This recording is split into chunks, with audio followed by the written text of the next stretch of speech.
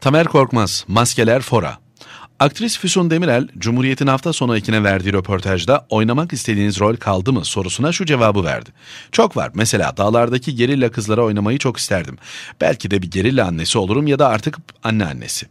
Füsun Hanım'ın içinde ukde kalmış olmalı ki daha fazla dayanamamış maskesini fora etmiş. PKK'ya olan hayranlığını böylelikle dışa vuruyor. Dağdaki PKK'lı terörist kızı veya teröristin annesini ya da anneannesini oynamak istediğini dile getiriyor.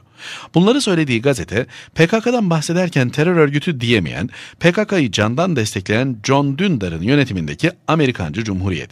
Tepkileri görüp etekleri tutuşan Cumhuriyet, Füsun Demirel'e yargısız infaz diyerek kıvırmaya çabalarken aklımızla alay etmekten de geri durmuyor. Uzun seneler evvel Hürriyet'in Roma temsilciliğini yapan Mehmet Demirel mi? Füsun Demirel'in kardeşidir.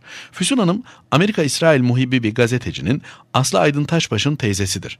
Batılı devletlerin ulusal menfaatlerini baş tacı yapmış olan ve Türkiye'ye daima batının penceresinden bakıp ayar vermeye çalışan bir gazeteciden söz ediyoruz. Milliyete köşe yazdığı dönemde Aslı Aydın Taşbaş'ın Ankara'dan yakınan şu satırlarını hatırlıyoruz. İşin ilginç yanı hem İsrail'e hem Suriye'ye yüklenen tek ülke Türkiye'dir herhalde. Erdoğan aynı konuşmada her ikisini de doğradı. 24 Eylül 2011. Gezi kalkışması günlerinde gerçekleştirilen Bilderberg toplantısına Türkiye'den katılan isimler arasında Aslı Aydın Taşbaş da yer alıyordu. 3 yıl önceki Bilderberg toplantısı Londra'nın kuzeyindeki Watford'da Grove adlı bir otelde yapılmıştı. Amerika Başkan Yardımcısı Joe Biden geçtiğimiz Ocak ayında Türkiye'yi ziyaret ettiğinde buluştuğu gazeteciler arasında Amerikan muhibbi Kadri G ile Aslı A da vardı. Biden'la selfie çektirmişlerdi. Öyle ki aralarından su sızmıyordu. Aslı Biden'a neler konuştuk anlatayım mı diye de tweet atmıştı. Biden John Dündar'dan büyük kahraman diye söz etmişti. Suriye'deki Türkmenlere yardım götüren tırlarla alakalı olarak Ankara'ya iftira atan Mr. Dündar, Sem amcasının kahramanı olmuştu. Mr. Biden ve terörün mühendisi konumundaki Amerikası PKK'nın Suriye'deki kolu YPG-PYD'ye terör örgütü diyemiyor. Vaktiyle PKK terör örgütünü inşa etmiş olan Amerika başından beri PKK'nın en öndeki hamisi durumundadır.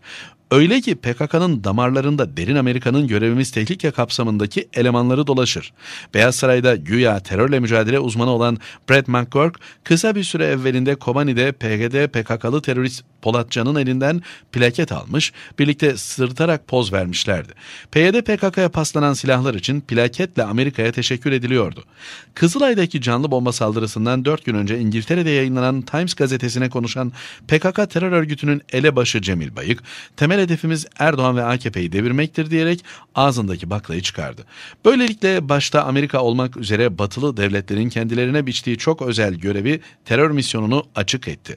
Amerika'nın Ankara'daki eski büyükelçilerinden Morton Abramovich ile Eric Edelman geçtiğimiz hafta 10 Mart 2016'da Washington Post'ta yayınlanan ortak yazılarında Cumhurbaşkanı Erdoğan'ı istifaya davet etmişlerdi. PKK'nın candan destekçisi paralel yapının Mr. Loca Efendisi 1992 yılının Mayıs ayında Amerika'da Mr. Abramovich ile özel bir görüşme yapmıştı. Gayrimeşru Irak işgalinin ilk 3 yılında Türkiye'de Amerikan elçisi olan Eric Edelman o dönemde paralel zamanın merkez binasında ağırlanmıştı. Edelman'la yapılan ve 3 gün boyunca yayınlanan al gülüm ver gülüm tarzı iliştirilmiş röportajda suya sabuna dokunan bir tek soru dahi sorulmamıştı. Tamer Korkmaz, Yeni Şafak